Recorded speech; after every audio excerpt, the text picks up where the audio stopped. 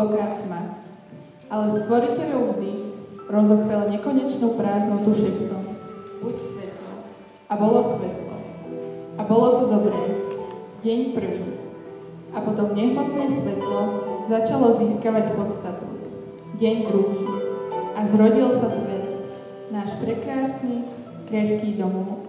A mocné, hrejivé svetlo živilo ďalšie dni. Za nocí vládlo menšie svetlo.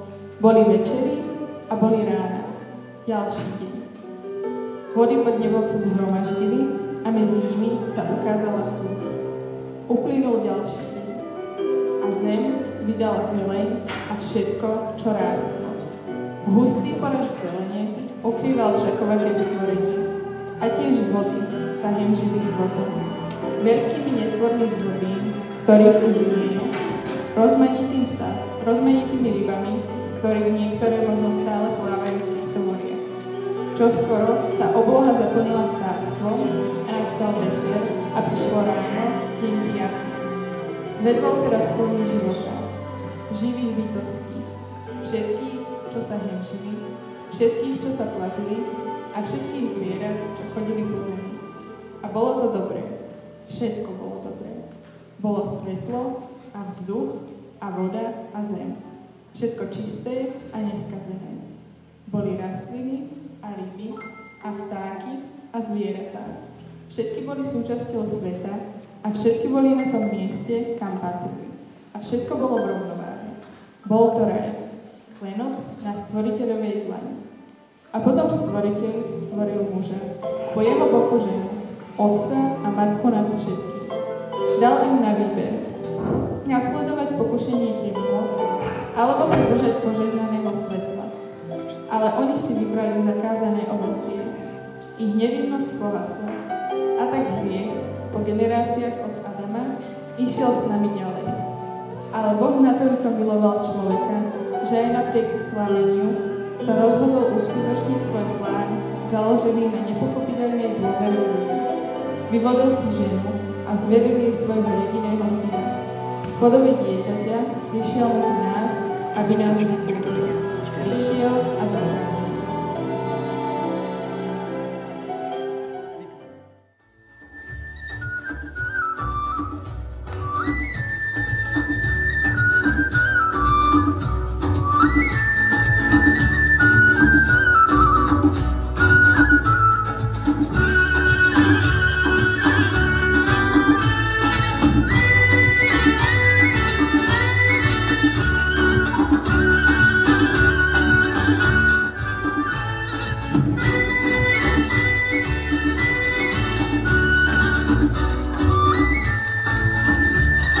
Počúvaj, nevieš náhodou, prečo je nebi dnes tak dušno?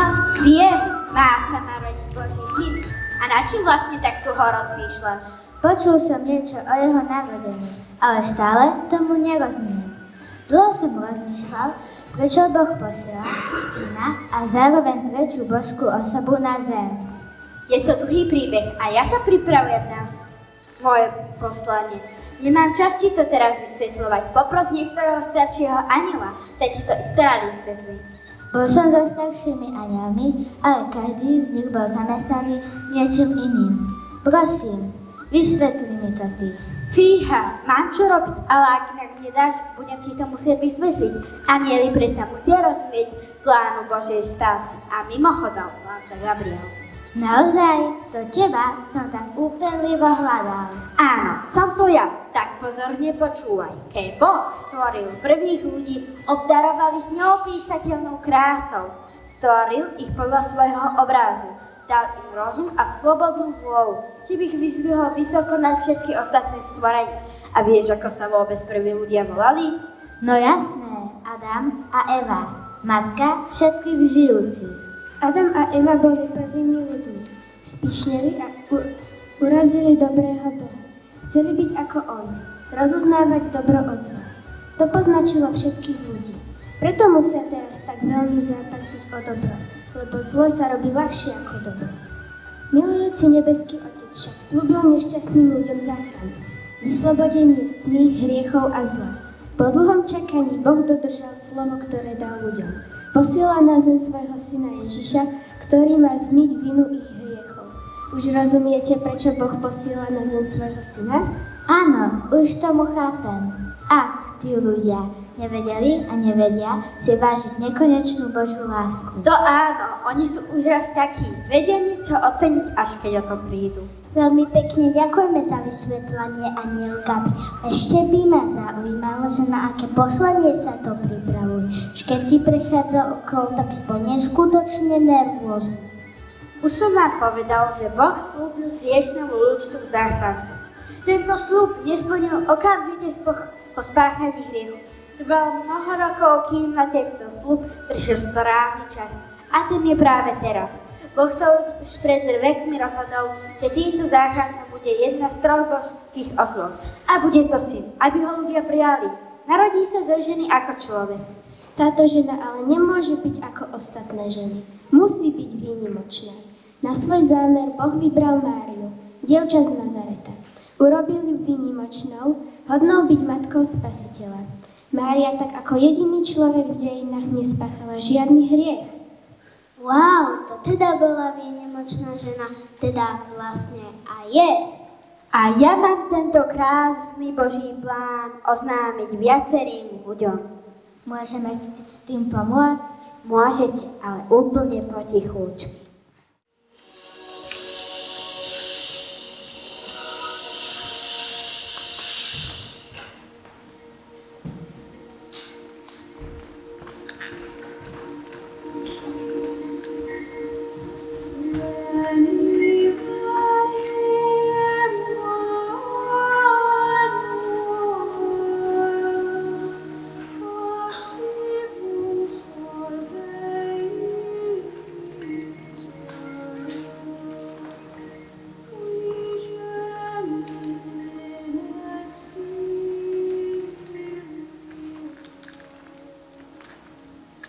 Neboj sa, Maria, Boh obľúbená, Pán je s tebou.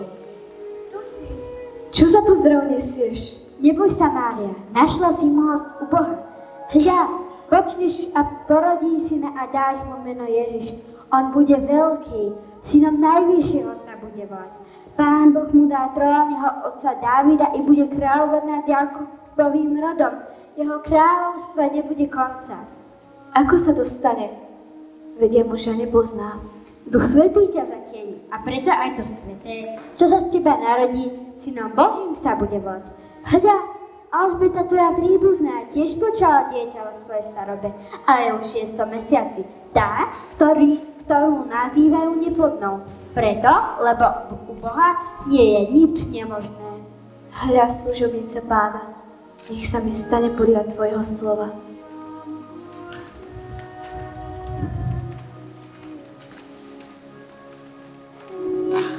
watching.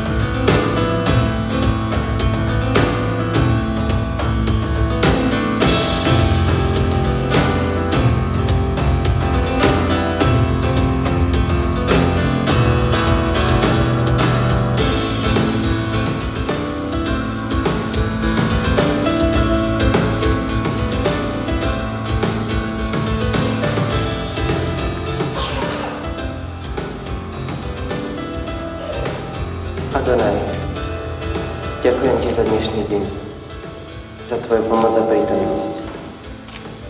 Odpusti moju roztožitosť. Som zmetený, nechápem. Začínam pochybovať. Čo sa to deje s Máriou? Vyzerá, že ma podviedla. Ako veľmi ma to trápi. Ale to nemôže byť pravda. Moja dobrá Mária by to nikdy neurobila. Prečo mlčí? Aké tajomstvo to skrýva? Bože, Pomôž mi. Čo mám robiť? Nechcem jej ublížiť, ale ani nechcem žiť v klamstve.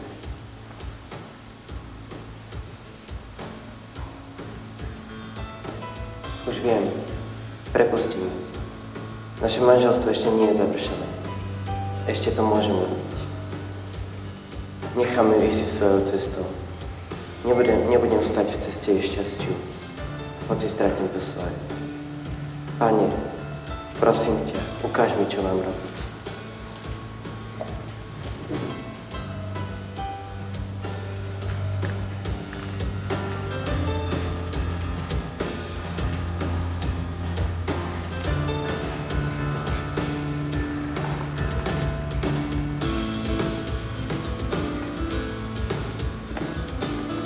Jozef, syn Dávidov. Neboj sa prijať Máriu, svoju manželku, lebo dieťa, ktoré počala, je z Ducha Svetého. Porodí syna a dáš mu meno Ježiš, lebo on vyslobodí svoj ľud z hriechu. Bol to iba sen, alebo skutočnosť? Alebo azda Božia odpoveď na moju modlitbu? Ak je to tak, nemôžem nechať Máriu a jej dieťa samé. Musím sa o nich postarať. Písal sa rok 747 od založenia mesta Ríma. V tomto čase bol cisárom Augustus, za ktorého panovania mala ríša dovtedy nevýdané rozmery.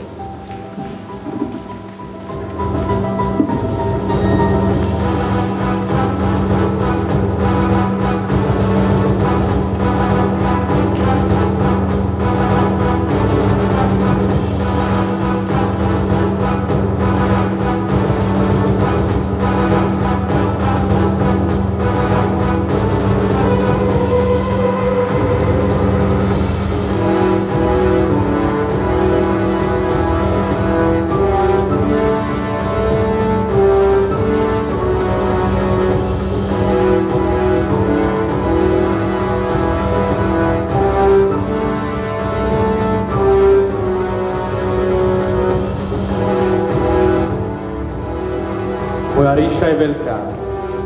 Taká ešte nikdy nebola. Ale vlastne ani neviem, komu vládnem. Koľko ľudí sa mi klania. Musím dať čítať ľud v mojej ríši. Hej, pisár! Ako tak rozmýšľam, tak vlastne neviem, komu vládnem.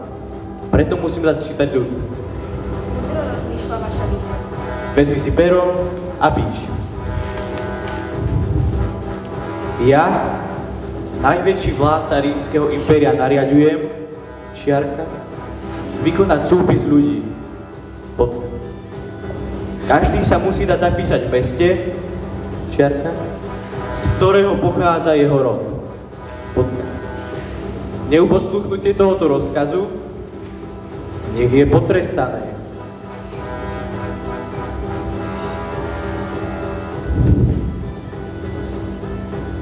Potem. No to podpiszcie Wisiński.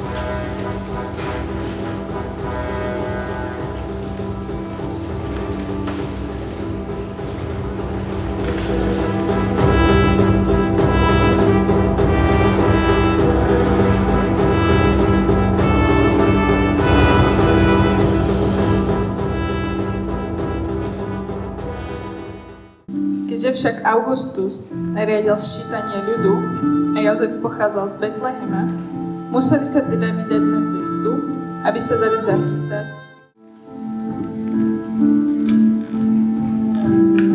Ach, ja už nevládzem, Jozef.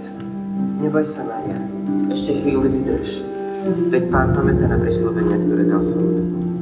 Keď teda chcel, aby sme sa vydali na túto cestu, určite nám dá silu a pomôže nám, aby sme šťastne došli.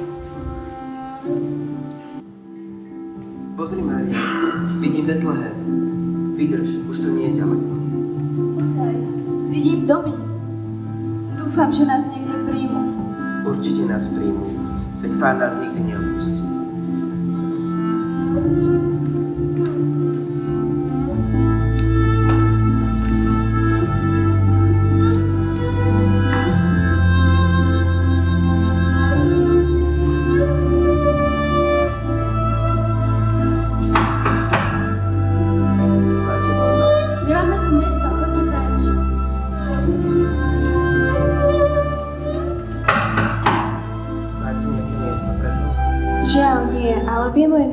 môžete ísť. Tam na okraji e, mesta je jasky, mašta, e, jaskyňa v maštal, kde pastieri prechovávajú svoje stáda. Tam choďte. Nie je to síce žiaden luxus, ale aspoň budete mať strechu nad hlavou. Ďakujeme ti. Nech ti pán odmení dobro za to, že si nám pomohla a ukázala cestu. Je to chudobné, ale ďakujem Bohu za to, že nás nenechal opustený. Ďakujem ti Bože za túto maštaľku. A teraz poďme Jozef rýchlo. Dieťa sa už pýta na svet.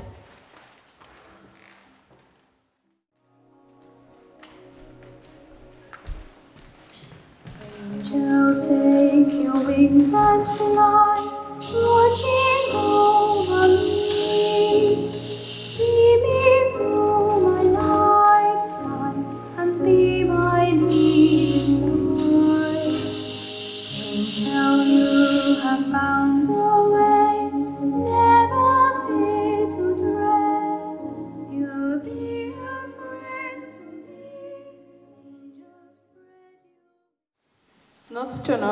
strážia betlémskí pastieri svoje stáda, nuž bdejú pri nich aj vo svetú noc.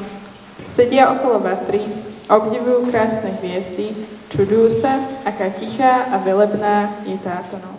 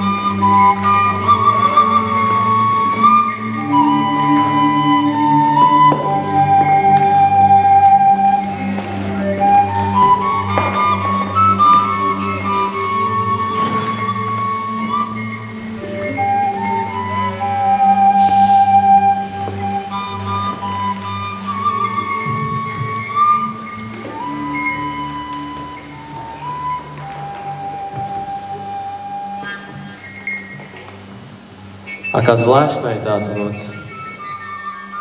Iné ako ostatné. Nie sú tieto posledné dni. Dnes do Betlehema prišlo množstvo cudzincov. Už dva dní tu prichádzajú ľudia zo všetkých strán.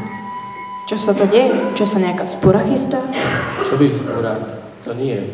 Vy ste asi ešte nepočuli, že cisár vydal rozkaz, aby sa všetok jeho ľud dal zapísať. Chce vedieť, koľkým vládne. Čo nemá dosť ten nenásytník jeden. Dosť bolo prázdnych rečí. Poďme sa radšej vyspať. Zajtra nás čaká veľa práce.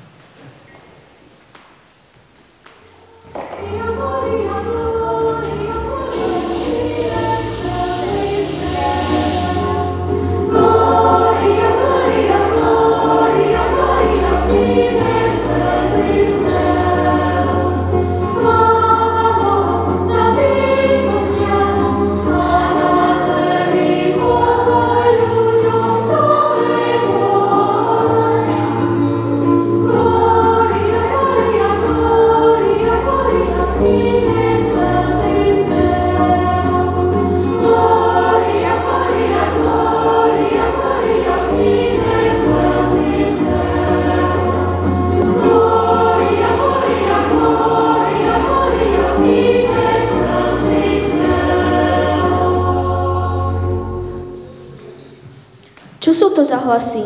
Čo za silné svetlo? Hadam nám nehorí salaš. Bratkovia, vstávajte. Nebojte sa, zvestujem vám veľkú radosť, ktorá bude patriť všetkým ľuďom. Dnes sa vám v Dávidovom meste narodil Spasiteľ Kristus Pán a toto je vašim znametím. Nájdete dieťatko zavinuté v plienkach a uložené v jasliach. Poďme teda do Betlema a pozrime sa, čo sa stalo, ako nám to oznámil pán.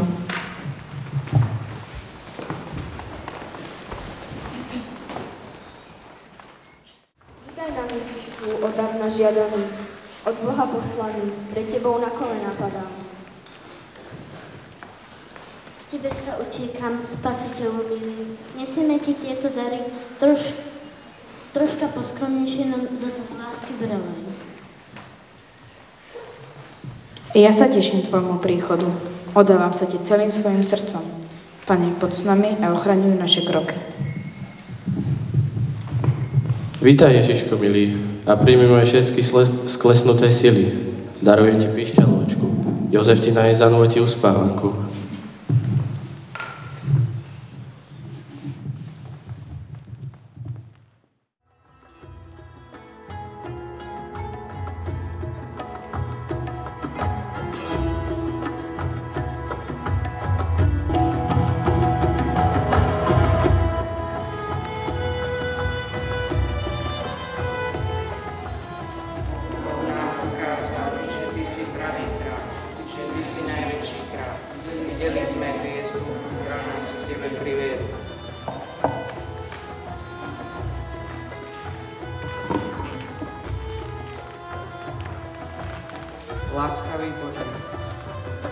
Láskavý Bože, Tu ležíš na slame, drahé Božie dieťa, vďačne ťa vítame.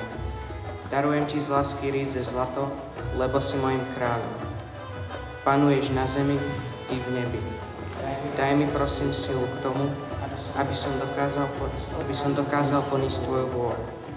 Daj mi čisté srdce a lásku, aby môj život na zemi bol spokojný. Pomôž mi, aby moja láska k Tebe nikdy nevyhasla.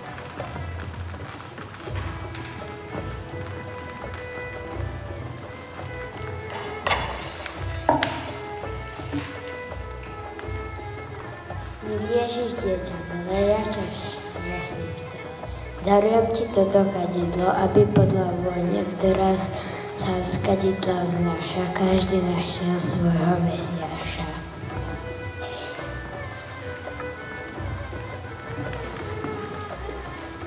Krásny Ježiš, dieťa malé, ruka moja mi rozkladá, lebo vykupiteľ si náš. Budeš mnoho trpieť za nás. To znamená táto u prorokov zapísaná. Jedno im neprosí dovoliť, ich som ťažko si svoje zniesol.